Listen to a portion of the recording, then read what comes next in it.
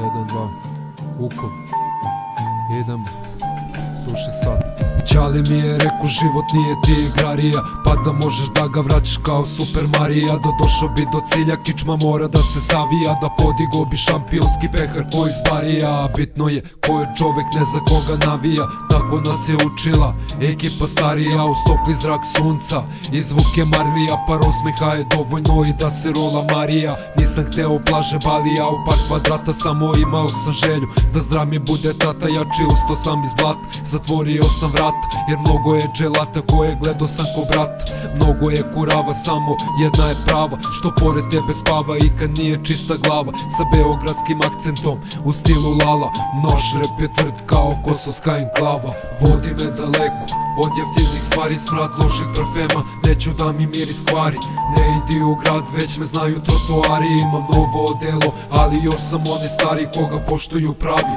Što voli da vari što za prijatelje mari. Kako više stari koji jednu biljku džubri druge neće da hrani. Neka zatvorenu sep pa ne viđaš me vani.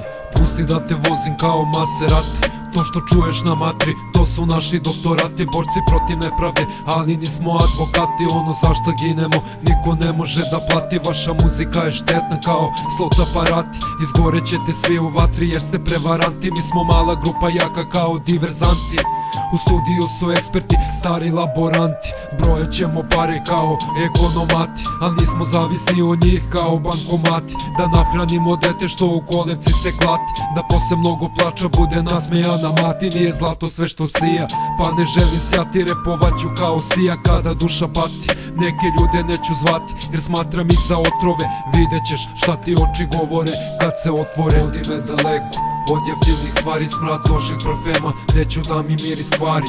Ne idi u grad već me znaju trotoari Imam novo odelo ali još sam onaj stari koga poštuju pravi.